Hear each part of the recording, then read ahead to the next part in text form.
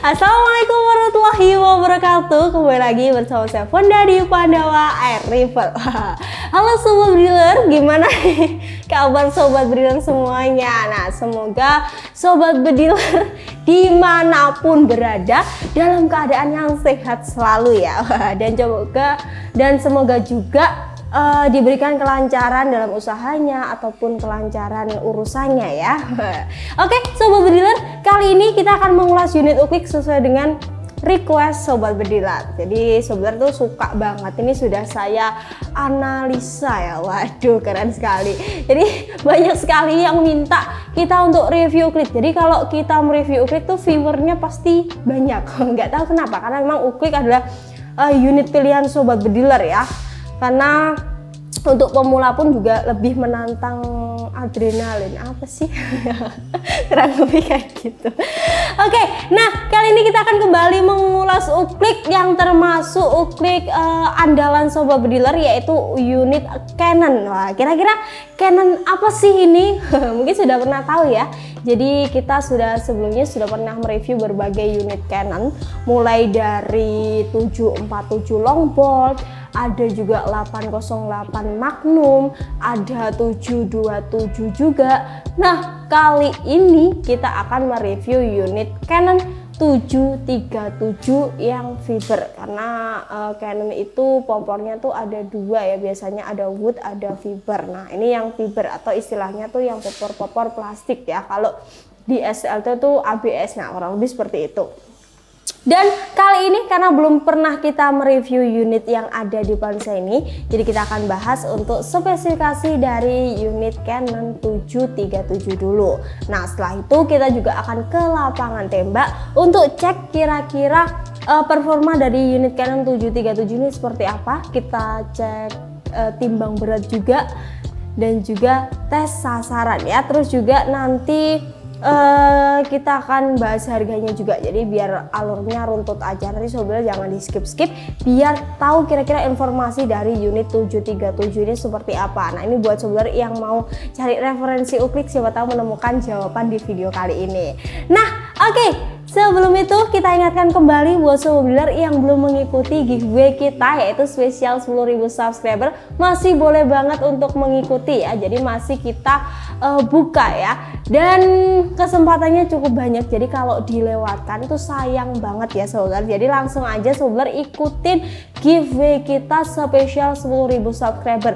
Jadi total hadiahnya tuh juga banyak ya. Jadi nggak usah khawatir kalau uh, peluangnya sedikit. Jadi peluangnya pun cukup banyak. Saya lihat kemarin juga sudah ada beberapa yang membuat video. Jadi yang belum membuat silahkan membuat. Caranya sangat mudah. Yang pertama sebagai tinggal follow Instagram kita ada di Pandawa Rival ya. Nah itu boleh pakai akun istrinya, akun saudaranya, akun anaknya, akun kakeknya. Enggak ya kalau kakeknya ya. Jadi boleh pakai akun siapa pun yang penting uh, follow dulu. Terus juga jangan lupa subscribe. Nah ini yang paling penting. Nah ini selain uh, bisa mengikuti giveaway, fungsinya apa? Fungsinya biar sobat juga nggak ketinggalan info kalau kita ada promo ataupun info-info tentang senapan-senapan terbaru, sobat biar nggak ketinggalan.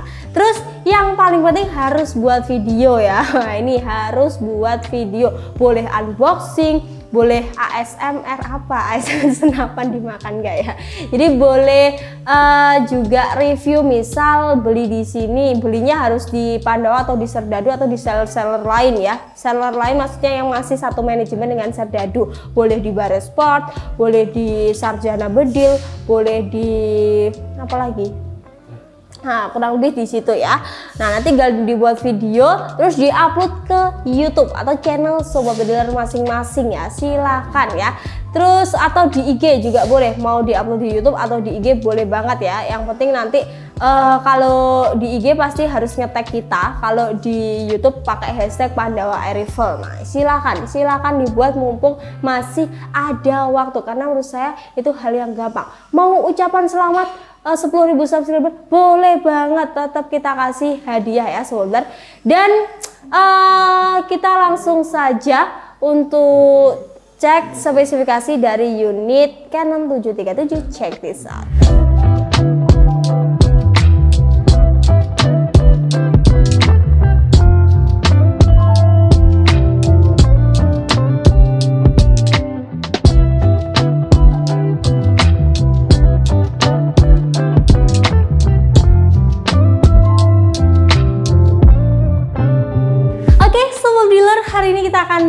bahas untuk spesifikasi. Nah, kita akan ulas unit Canon 737 dengan popol fiber ini ya.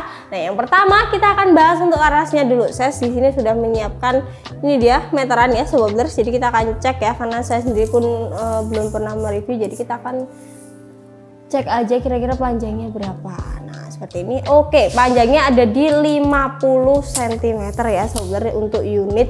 Uh, Canon 737 panjang kerasnya adalah 50 cm dengan OD 9 dan di sini pun dia sudah dilengkapi serombong ya seperti ini. Nah ini serombongnya. Di serombongnya tuh pasti uh, ada nomor serinya. Nah ini membuat unit ini menjadi salah satu ciri khasnya ya karena memang ori dari pabriknya langsung. Terus untuk bagian laras atau di ujungnya sudah lengkap dengan nepel peredam ya. Jadi sudah ada. Jadi bisa tinggal dipasang-pasang peredam baik peredam uklit atau biasanya HW100 atau peredam-peredam yang lain. Nah, tinggal dipasang saja ya sobat beler. Terus untuk tabungnya sendiri dia OD 22 Wah, seperti itu jadi kebanyakan Canon memang tabungnya OD22 tapi ada juga yang OD25 seperti 747 itu OD-nya 25 tapi kalau yang uh, 737 727 terus 808 itu OD-nya masih di 22 nah kira-kira uh, panjang dari tabungnya berapa? Kita akan ukur juga. Nah ini sekitar 42 ya atau 43 sekitar segitu. Terus berbahan aluminium. Nah ini seperti ini ya penampakannya ya kurang lebih seperti ini. Nah mundur lagi di bagian chamber. Jadi chambernya pun dia masih sama seperti chamber 747 seperti ini. Jadi eh, bahannya mungkin bukan baja ya tapi ya masih uh, bahan pilihan dari Canon sendiri yang tentunya membuat dia juga semakin ringan juga di bagian chamber. Terus di bagian chamber ini juga terdapat pengisian mimisnya. Nah ini ya pengisiannya uh, ada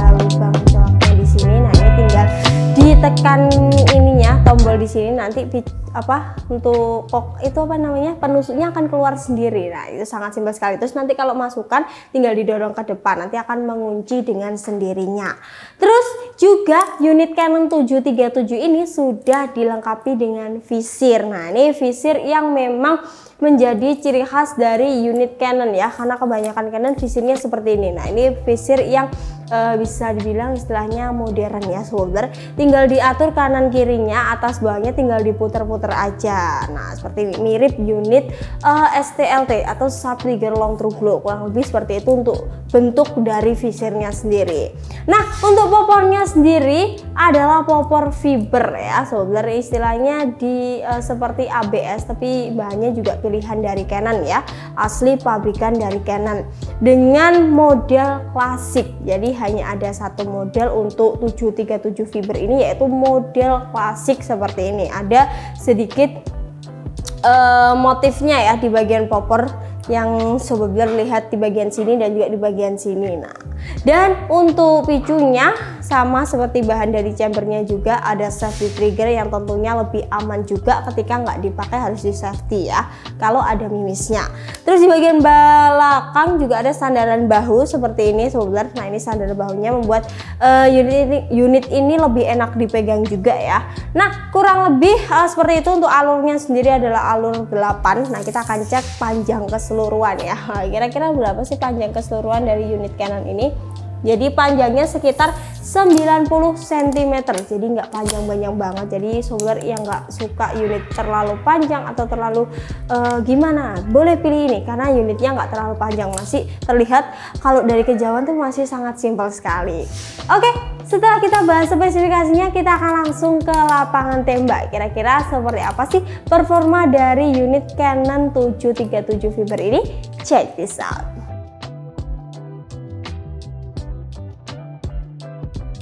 Oke, okay, so dealer kali ini kita akan tes uh, untuk unit Canon 737 long apa? Bukan. Oh, 37 aja ya. 737 aja. Jadi kali ini kita akan tes langsung. Jadi kita akan tembak beberapa sasaran yang ada di sana, sekitar 4 sasaran ya. Ini berapa kali pompa, Mas? 6. 6 kali pompa. Kita akan coba uh, tembak di sana ya saudara menggunakan mimis apa jadi di sini kita menggunakan mimis barakuda 10,65 grade jadi mimis yang seperti biasanya kita buat tes oke mau yang mana dulu mau yang kanan paling kanan ya kita coba paling kanan ya sobat dealer nah di situ ada sasaran yang cukup kecil juga ya oke kita akan cek Oke, nah kena ya solar. Nah itu tadi perkenaan yang pertama di enam kali pompa ya. Nah kita coba lagi yang kedua. Nah ini agak berat atau ringan mas? Ringan ya kak ya? Atau sedang? Nah ini ngitung jadi nggak bisa dia jawab. Nah, sedang, jadi sedang, jadi nggak terlalu berat. Nah, ini modelnya memang simple kayak gini, kayaknya enak kalau dipegangnya. Modelnya simple seperti ini. Oke, coba yang kedua masih menggunakan mimis barakuda 10,65 grain ya, sobat bediler. Nah kita coba yang sebelahnya atau sebelahnya ya.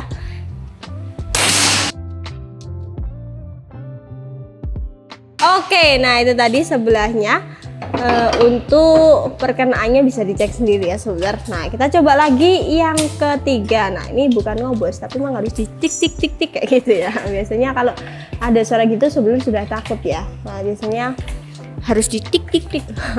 Oke masih enam kali pompa menggunakan mimis barakuda juga. Kita ragum dulu. Nah ini kokangannya tinggal diarahkan ke bawah dia akan keluar sendiri terus didorong ke depan nah, yang keluar malah mimisnya Oke kita coba yang ketiga atau uh, yang kecil juga seperti ini Nah ini kita akan langsung coba kira-kira perkenanya seperti apa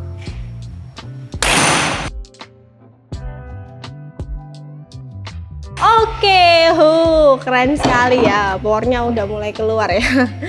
Oke, yang terakhir atau yang keempat kita akan coba lagi ya sobat dealer. Yang keempat masih di enam kali pompa ya. Nah, oke. Pompanya sedang katanya ya. Nah, karena saya nggak bisa ngerasain. nggak kuat ya kalau saya.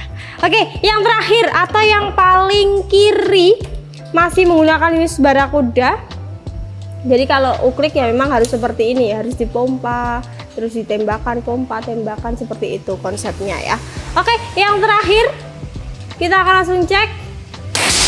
Wah nggak kena. Coba lagi. Nah kita harus coba lagi ya. Ini tanpa no edit edit no cut cut. No cut cut apa sih?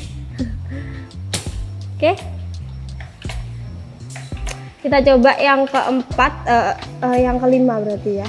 Karena tadi yang satu nggak kena atau yang terakhir nggak kena kita coba lagi ya sobat oke di sini kita akan coba nah misnya pakai barakuda ya aja tuh lagi. Ini kalau tangannya gede agak sulit ya. Oke kita akan coba di sini.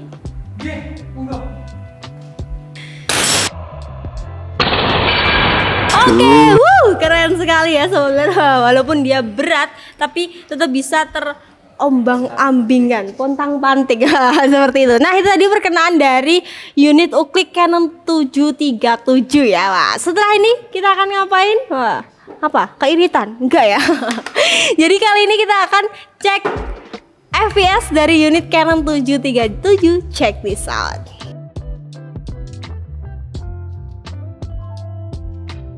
Cek cek cek. Oke, okay, so dealer kali kita akan tes FPS. Nah, siapa nih yang sudah kepo dengan FPS unit 737 ya? Nah, kali ini kita akan langsung tes di berapa kali pompa Mas? 5 ya. 5 dulu. Wah, permulaan guys. Nah, kita coba di 5 kali apa? 5 kali pompa. Kira-kira FPS-nya berapa? Kita akan cek setelah ini. Cek di saat enggak ya? Oke, langsung saja kita akan cek. 626. Oke, karena masih 5 kali pompa. Di 626. Kita coba lagi, kita naikkan berapa, Mas? Satu. Wah, berapa berarti? 6. jadi setelah 5 6 ya sobat jadi kita akan coba ini agak mengganggu ya tapi nggak apa-apa lah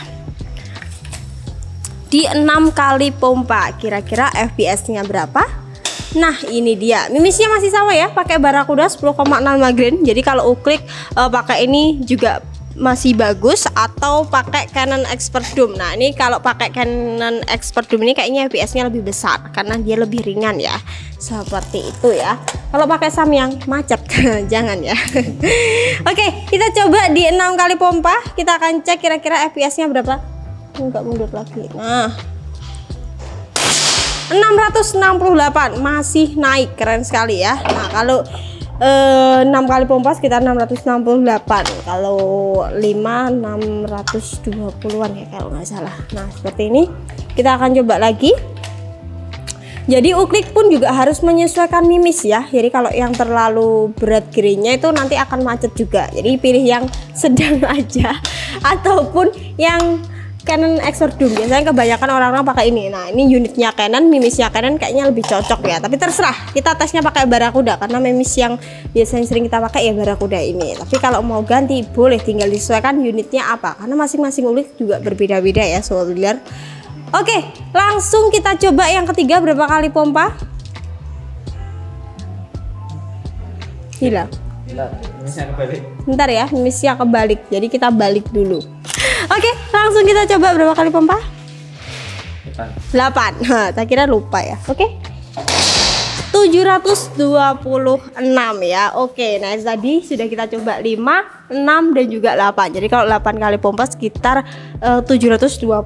Silahkan ya sobat jadi bisa dinilai sendiri. Kalau menurut saya masih oke juga di 700 lebih untuk FPS dari unit Uklik Canon 737 Nah setelah ini kita akan ngapain? Kita akan timbang berat Kira-kira berat dari unit 737 ini berapa? Karena memang modelnya yang simple dan gak terlalu panjang Kira-kira kita akan cek untuk beratnya berapa Check this out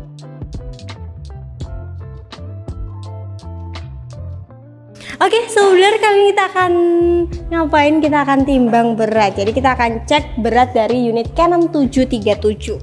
Oke, kita akan nyalakan dulu untuk timbangannya. Kita juga pakai second cam, jadi sobat bisa cek di samping juga untuk beratnya berapa. Oke, langsung saja mulai dari nol. Nah ini karena kayaknya ringan pol. nah ini, wah ada 2 kilo, 1,9 aja benar-benar. Keren sekali, karena memang dia menggunakan uh, popor fiber atau kalau itu istilahnya seperti uh, plastik. Saya tadi kedengaran nggak ya? Jadi dia pakai popor itu fiber. Nah, kalau Canon kan ada yang kayu, ada yang fiber. Jadi dia ini pakai fiber makanya dia lebih ringan juga seperti itu ya. Nah, recommended banget ya untuk pemula untuk unit 737 dari Canon ini. Oke, setelah ini kita akan bahas kira-kira berapa sih harga dari unit Canon 737. Check this out.